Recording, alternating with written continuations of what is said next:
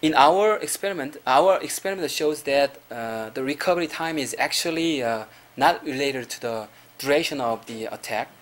Therefore, even for long-lasting attacks, our system can detect uh, attack and take a responsive action within one or two minutes. Okay, conclusions. Uh, we presented a distributed approach for end-to-end accountability in grid systems. Also, uh, we introduced the concept of accountability agents performing a wide range of information, gathering and keeping track of submitted jobs and users. We also discussed about different kinds of denial of service attacks that could exploit grids and proposed detection and protection uh, mechanisms based on accountability agents.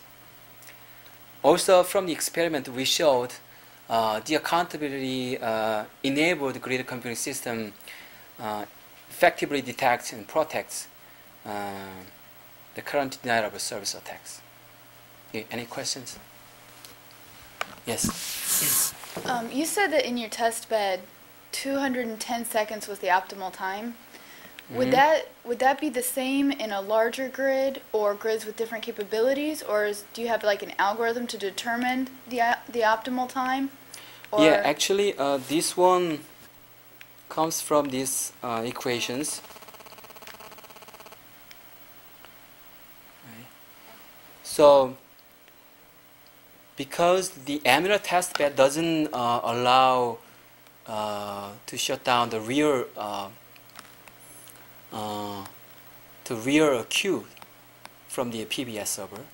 So we only assume that the size, the maximum size of the queue is um, 35. We assume that if the uh, 35 jobs are queued in a certain queue, in a PBS queue, we consider that is, it is filled, it's fully filled.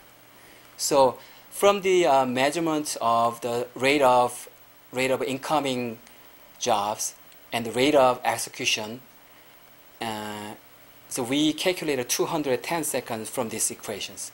It'll be it'll be different from from uh, in case of other uh, situations.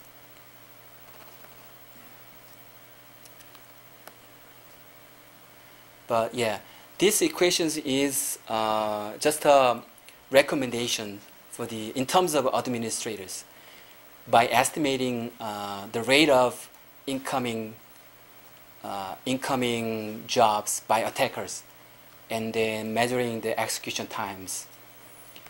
And then because we know the number of the compute nodes and the we number of we know the number of uh, uh, the maximum size of a queue we can calculate the possible time window from these equations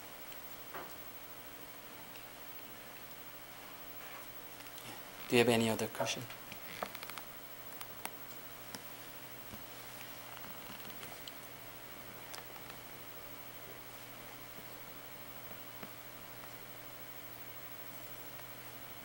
Okay. Okay, thank you.